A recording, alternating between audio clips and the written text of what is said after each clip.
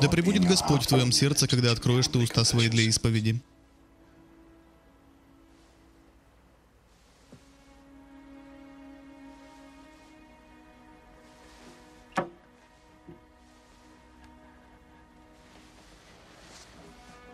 Благословите меня, Отец, ибо я грешен. Давно ли ты исповедовался в последний раз? Очень давно. Не волнуйся. Постарайся. Покайся в своих грехах. Отец, могут ли возникнуть обстоятельства, в которых то, что я вам скажу, вы откроете кому-нибудь еще? Нет? Тайна исповеди нерушима.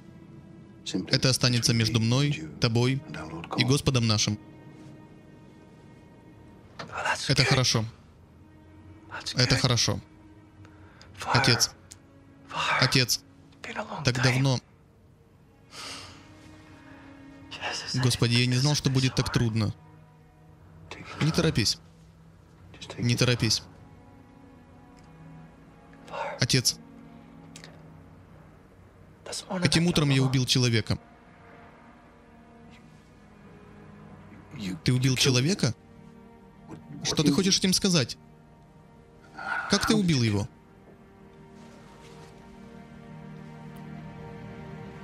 Ты был там. Вон, вон! Пошел вон!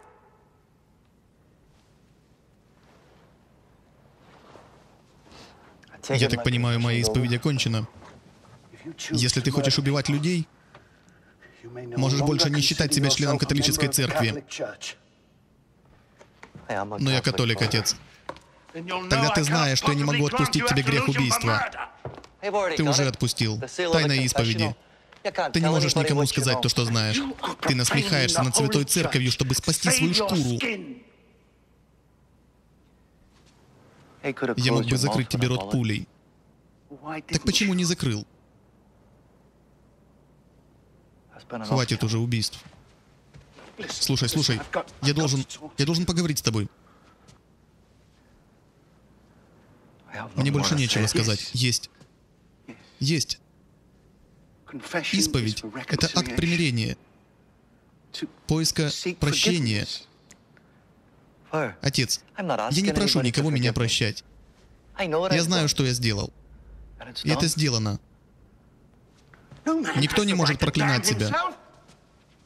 Только Бог обладает таким правом. Тогда оставим это Богу, Отец. Ага. Уже и Бог здесь. Ты не лишил меня жизни на кладбище. Чего стоит моя жизнь как свидетеля?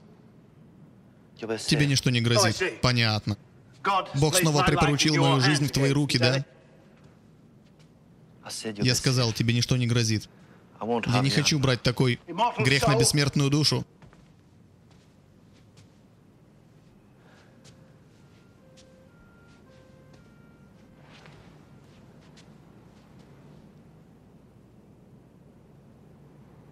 Я хотел сказать, груз на мою совесть, отец.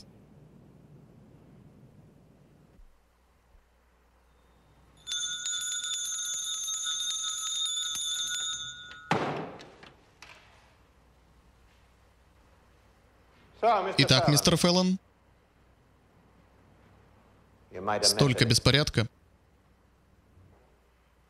Работа сделана. Мне нужен мой паспорт и мои деньги. Вас видели? Священник вас видел. Он будет молчать. Значит, ты убрал его? Мы с ним поболтали. А это здесь при чем? Так работает католическая церковь, Билли. Ты не поверишь, правда? Да Коста теперь ничего не может сказать полиции. Умно, мистер Фэллон, но недостаточно. Мне нужен священник. Я сказал нет. Только не говори, что переживаешь из-за убийства священника. Он свидетель.